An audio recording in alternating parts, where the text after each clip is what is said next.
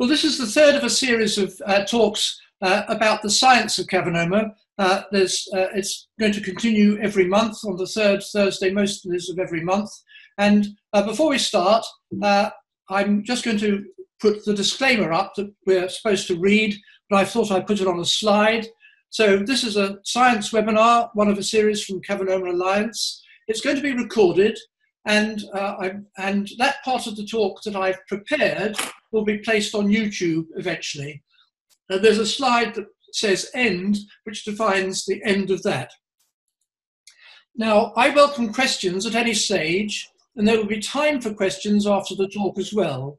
You can ask questions in two ways, by speaking, unmute yourself, and, uh, or you can put them into the chat line, and Pat, uh, my wife, who's here, will be monitoring those. And if you put something on the chat line, she will read it out so that it won't be known that it's you. Now, uh, the views expressed by me, by you, are our own. They don't necessarily reflect the views of Cavernoma Alliance, or, and they certainly don't uh, uh, necessarily reflect current clinical advice. I'm not a clinician. Nothing I say you, you shouldn't take anything I say as being anything to do with clinical advice, and you should seek anything about that from your own clinician. And some of the things I should be talking about today, uh, as it were, have a clinical relevance. But apart from one slide, nothing I say should be taken further evidence about how you should deal with your own diet. Now, there's a feedback uh, form, and I've put that onto the chat line. Uh, and it would be very helpful to us if you were prepared to feed uh, to do that. You you put that into your uh, into your uh, browser, and it will come up with a short feedback form. It will take less than five minutes to complete, and when you press return, uh, we get it in a somewhere in in the system. And if you wish to, you can contact me. My name's David. My email address is david at cavernoma.org.uk. So off to the talk especially if I can get it to good. Now, this talk is more, has got some science uh, sort of concepts in it, as well as uh, the science we're going to talk about. And the great thing about science is that it's unpredictable. And uh, if you do the sort of basic research that I used to do, then things turn up that are totally unexpected. You think you know what's going on, and all of a sudden something happens, and you no longer have any idea about what the cause is. And today's uh, seminar, webinar, started with such a finding. This was found in the University of Pennsylvania in Philadelphia, and a lab there run by somebody called Mark Kahn worked on mice because when you're going to work on the biology of cavernoma, you don't, you can't work on live humans, uh, and, but you do work on live mice, and certain breeds of mice are susceptible to cavernoma. And Mark had uh, a laboratory, and he had a breed of mice that had cavernoma nicely. But then he had to move laboratory to another uh, nearby laboratory in another building, and the mice no longer generated cavernoma. They were the same mice, they were fed on the same diet. It was a total mystery. Uh, the great thing about this lab here was that it was only about 100 yards from where I first met Pat. So that was the, uh, that was the odd finding. What in the hell was going on? And that's what uh, led to a whole area a whole of, of science. Now, the, this area uh, turns out to be one which links the gut, the small and large intestine down here, uh, to the brain where the cavernoma form. And so the link between uh, the two is the bloodstream because the blood that uh, is, uh, goes through your gut goes back up to the heart and then some of it will eventually get through to the brain. So that is the link that is going to be uh, the essence of this talk here. And in that link, the uh, issue concerns the bacteria in your gut. Now, your gut is full of bacteria and other microbes, but by far the bulk of them are bacteria. And that content is called the microbiome. The microbiome is all the microbes in your gut. There are about 100 trillion bacteria there. That doesn't really mean much to me, 100 trillion, but it's rather more than all the other cells in your, your human cells put together. And in there are about, well, there are, there are over a thousand different species of bacteria. And everyone's mix of species is different. uh, some of them are fairly similar, but everyone, but they're all different. You have your own individual mix of species. If you count up what proportion of number one, two, three, up to a thousand you have, it would be different from what I have or Pat has or anybody else. Now, what I'm going to do is show two slides, which are what I might call backstory, because they're the things I talked about in the first two webinars that you need in order to understand this one. So two slides only that give you the background needed for this one. And we start off with the blood capillaries in the brain. And we start there because cavernoma form in the blood capillaries. Here is a blood capillary without a cavernoma, and uh, we can think of this as being one of the 99.9 plus percent of people who don't get cavernoma. The cells here delineated by the black lines, are joined together tightly. They have what are called tight junctions between them, and those tight junctions prevent red blood cells and other constituents of the blood getting out into the brain, which is outside here. Food, nutrition, oxygen, and so on, they pass through these cells uh, because that, that's what the cells are adapted for, but otherwise they are tight junctions. But if you're one of the less than 0.1% of people with a cavernoma, where you have that cavernoma, the junctions are no longer tight, they are loose. And then you can get leakage of blood vessels from the inside of the blood capillary outside into the brain, which is out here. So the critical difference between the blood capillary cell walls is that the junctions are tight if you don't have cavernoma, and where you have a cavernoma, they're loose and leaky. And down here, uh, pity I've got this thing in the way, put it somewhere else. This is a picture of the, of the cross section here, and there are two cells here in the cell wall, one and two I've marked there. And uh, the, uh, the, the part of the slide, this first slide, shows what happens if you are one of the 99.9%.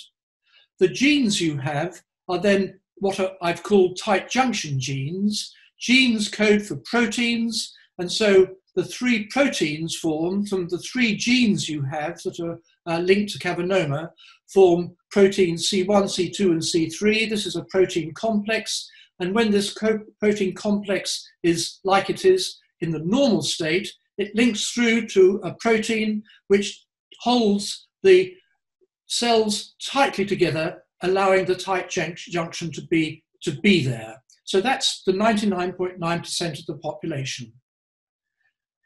On the other hand, if you have a cavernoma, then you have what I'm calling the CCM genes, the three CCM genes active.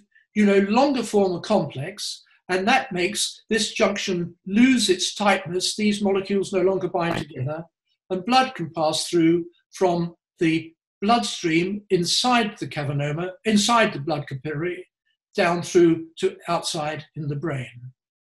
And that's where we left the talk at the end of last talk. But I did say that an important thing an, an important molecule that uh, is on this diagram that I didn't talk about last time, but I am going to talk about this time, is a receptor molecule in the cell wall between the blood and this uh, vessel. Receptors are proteins, and they always have a bit outside the cell and a bit inside the cell. They span the cell wall. The bit outside will bind to something in the blood, so something in the blood will attach to the receptor outside and cause the bit of the receptor inside to change. And that means that things in the blood can interact with the inside of the cell without actually having to pass across. So you get a linkage across this receptor. And quite a lot of this talk is going to be about that. So back to the talk proper. That was the background. So we start off with the gut again. Here is the gut, uh, and uh, I've drawn it just as it was before. And uh, here are the, uh, this is a picture of some of the bacteria in this gut. And uh, as I say, it's full of, it's full of them, masses of them. And what I've drawn here is a part of the lining of the gut. So the inside of the gut is up here. The lining of the gut is these cells that have got little sort of finger processes processes up leading into the gut. And this is the cell wall of the, the, the lining rather of the, of the gut, the small or the large intestine. And then here is a blood vessel that is going to go back up to the heart in due course. And in this picture, the gut is leaky. You can see there's a gap between the cells that line the cell wall and the bacteria are leaking out. But in, the, in, in what I would call the 99.9% of the population, there's no such gap. And indeed, there's a layer that I haven't put on here, but at this level here, of what is called mucus. Mucus is uh, as a lining of, this, of the wall of the gut, which prevents bacteria and other uh, things leaking out. So you've got a double barrier. barrier. These cells of the cell of, of the wall of the gut uh, and the mucus layer not indicated here. Now the bacteria are, uh, I said there's about a thousand plus different uh, species of bacteria forming loosely into two big groups, gram-negative bacteria, and they are what the GNB stands for, gram-negative bacteria, and gram-positive bacteria, and this story is about gram-negative bacteria. Here's a picture, schematic, of one of these bacteria.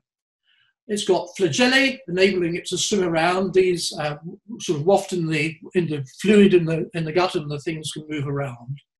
And here is a small part of the cell wall of this bacteria, which I've enlarged up to here. All cell walls in all cells, well, almost all cells, have two layers of lipid, uh, lipid being fatty, a layer, as it were, pointing upwards and a layer pointing downwards. And so this is the cell wall, and it prevents watery things crossing uh, across there. And in gram negative bacteria, there is bound into the cell wall this molecule here, which is known as a lipopolysaccharide. I'm going to put that down there again. And the lipopolysaccharide uh, has uh, a lipid part, the lipo. It has many sugar elements, these hexagons here. So it's a, a, a lipid, many sugar uh, molecule. And the bit inside is the lipid, which binds it into the cell wall, and the bit outside is made up of what are called monosaccharides. Each of these is a monosaccharide. There are several hundred different monosaccharides, so I've drawn different colours. I could have made it more colourful if I'd wanted. Uh, and so this polysaccharide has got six red identical units up here. And this polysaccharide, lipopolysaccharide, is, as, as it were, like hairs on the outside of the bacteria. Now, I'm going back to the diagram here because the, uh, and I've drawn the same picture as I had before, but I've drawn the receptor differently and more realistically. And the cell, the, the receptor that matters for this story is called a TLR4 receptor. It stands for toll-like receptor, don't worry about it. But there are many TLR receptors going from 1 up to 13, and each of those receptors binds a different particular kind of molecule. There are many other receptors, not just toll receptors, uh, but uh, toll receptors are ubiquitous throughout the body. Almost all cells in your body have a TLR4 receptor. And TLR4 receptors bind lipopolysaccharides. So there's an immediate link between what is happening in the gut, your gram-negative bacteria with a, with a uh, with, gram, with, with lipopolysaccharides on their surface and a lipopolysaccharide receptor in the, in, in, uh, on the cell wall of the capillary cells in your brain. And so this story obviously relates to those receptors. Now there's an extra step in this process from what I talked about last week, and that's a critical extra step. Because what happens is that if you have cavernoma genes, you don't form a complex. And what I showed last time was that in that case, this tight junction was lost. But the answer is it's not lost immediately uh, when you get uh, when you have cavernoma genes and no complex. There's a situation that occurs where you maintain the tight junction even though you've lost the complex here. And that changes when the TLR4 receptor binds the lipopolysaccharide. I've drawn these as the little sort of red bacteria, think of hairs, lipopolysaccharide on the surface, and I've drawn that as binding to the toll-like receptor. It's not known that that's the case rather than the lipopolysaccharide being sheared off the bacteria and binding indirectly. But uh, that's an unknown. We're not going to worry about it. When you have the gram-negative bacteria with the lipopolysaccharide, you then change the structure on the outside of the receptor, and that changes the structure on the inside. Here I've drawn it square. This is all schematic. Actually, the receptors do look vaguely like this. Uh, uh, but then when you bind the lipopolysaccharide, excuse me, then what happens is the structure inside is changed, and that then leads to something happening in the cell to cause there to be a loss of the tight junction fiddle. Uh, there's supposed to be a red, uh, a, a red line coming up here of blood, and you now have the creation of cavernoma. In other words, there's an extra step involved between the cavernoma genes creating no complex, making a cavernoma possible. You don't get a cavernoma unless that happens, but there's an extra step which is required before you get the loss of the tight junction and the cavernoma formation. Now I've put a question mark here, and this is the second question mark about science, because this is all very recent work.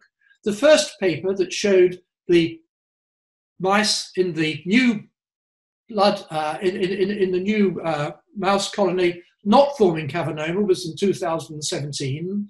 And some of what I'm talking about here is a paper that only came out in May 2020. And there's another paper I haven't referred to, which has got a list of unanswered questions. And one of the answered questions, unanswered questions, is this question mark, what happens here? It's not all a blank, actually. What I've drawn here is a black arrow, which we don't know the end result of. But one of these, these black uh, rectangles here are molecules, and there is one molecule that's known really very clearly whose uh, concentration is modulated when you get this receptor here, and it's known as a kinase. Don't worry about what a kinase is particularly, but it's a common type of molecule inside a cell, which is a regulatory kind of protein capable of changing things. And so that's the situation we have. We have uh, what is known as a, a, third hit required. Hits one and two were to do with the genes, I talked about those last week, but the third hit is something that happens when the toll-like receptor binds lipopolysaccharide. And only when that happens do you get, uh, do you get the cavernoma formation. David, can I ask a question? Yes we have a questioner that's saying, is the mechanics of this process the same if you have a sporadic versus a familial cavernoma? It is, and that's the next slide, or maybe it's the next but one slide. But the mechanics is the same whether you have uh, a, a familial cavernoma, whether you have a sporadic cavernoma, whether you have a symptomatic cavernoma or an asymptomatic cavernoma. This applies to all those situations. If you have an asymptomatic cavernoma, the uh, the uh, the loss of blood is, is is less. You don't get the large uh, intracellular hemorrhages, which are characteristic of symptomatic cavernoma. But this slide is true of all types of cavernoma. And can I just interject? I don't know, maybe you said it, but I mean, from your other webinar, um, you explained that all forms of cavernoma have a, this genetic genes component, whether it's inherited or mutated. Yes? Thank you very much. That's quite right. Uh, whether you have familial or sporadic cavernoma, you have to have the, these cavernoma genes in order for there not to be a complex. And you change from having tight junction genes to cavernoma genes, the, the different form of gene, with what is called, what we'll call today is called a hit. The first two hits are on those genes. This, what's happening here, is the third hit. So we have to come back to leakiness in the gut. And so this is this picture of a gut again, because what is critical to the formation of cavernoma is whether the gut becomes leaky or not. And as far as this talk is concerned, there are two factors which increase the risk of the gut becoming leaky. I'll, I think I might have drawn them the other way around, but the first is having emulsifiers uh, in, in food, and that increases the risk that you will get a leaky gut. Emulsifiers, you're probably familiar with, Sona will certainly be familiar with with her cookery. They are additives that enable an oily part of the food uh, ingredients and a water ingredients to mix, and they're often added to processed foods. If you have emulsifiers in the gut, then they, whoops, daisy, excuse me, they uh, affect the mucus layer. I'm sorry I didn't draw the mucus layer here, but the mucus layer is here, and emulsifiers damage the mucus layer, and so any tendency to leakiness will be enhanced. And so uh, that, is, that is bad news for cavernoma. The second, uh, and perhaps in a sense more interesting, uh, risk of gut leakiness is one of the cavernoma genes. Uh, and it's the third gene, the CCM3 gene, uh, at, and this concerns people with familial cavernoma. Because uh, the genes, the cavernoma genes, uh, whether they are the mutant or the normal form, are present in almost all the cells in your body.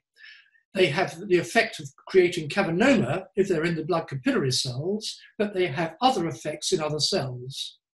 Normally they act together so that you get that complex that was yellow, C1, C2, C3. But in the gut, uh, the, in, these, uh, in these cells here uh, that line the wall of the gut, which release the mucus, so these cells here are responsible for the production of mucus that sits above them. That production of mucus is inhibited if you have the CCM3 type of gene acting by itself. It doesn't work with the other two cavernoma genes, CCM1 and CCM2, it acts by itself. And CCM3, the mutant form, reduces the amount of mucus you get here, and when that happens, then you get a tendency to get a leaky gut. And that's important because people with familial CCM3 get worse cavernoma earlier than do people with CCM1 and CCM2. And the reason why has got nothing to do with what's happening in the blood capillaries in the brain. It has everything to do what is happening down in the gut. So that, sorry. Please go. Can I just ask a question, taking one step back? Uh, another questioner, uh, does this, and I guess it means the leakiness, happen with a septicemia or just free polysaccharides? The, uh, I can't answer that question. Uh, I, I know why it's being asked because of the septicemia link, but I don't know the answer to that. Uh, apologies. Uh, I, will move on. I, I can't answer. Angioma Alliance have produced a CCM Healthy Cookbook, which you can get from the uh, Angioma Alliance uh, website. It's produced menus from members, maybe even some of people here, uh, and it's largely due to, uh, cook, uh, to, to, meals that have low levels of emulsifier. They're actually producing a second healthy cookbook, and if you wish to add your own memories to that, then you go to the Angioma Alliance website, look up cookbook, and add your menu to it. Then the second thing I want to, aspect of this I want to talk about uh, concerns the mix of species that uh, uh, you have in your gut. I talked earlier, if you remember, about there being a thousand different species of bacteria and everyone's mix being different. Well, everyone's mix is, being, is different, but there are characteristics uh, of uh, different, different people's mix and one fascinating characteristic mix is that the people with cavernoma have a distinct mix of uh, a set of those bacteria from people without cavernoma. And what is truly staggering to me is that that doesn't matter whether you, which form of cavernoma you have, whether you have familial cavernoma, maybe with many uh, cavernomas, or sporadic, whether you have symptomatic or asymptomatic, uh, each of those produces the same characteristic set of species. As I say, it's not identical because people's are different.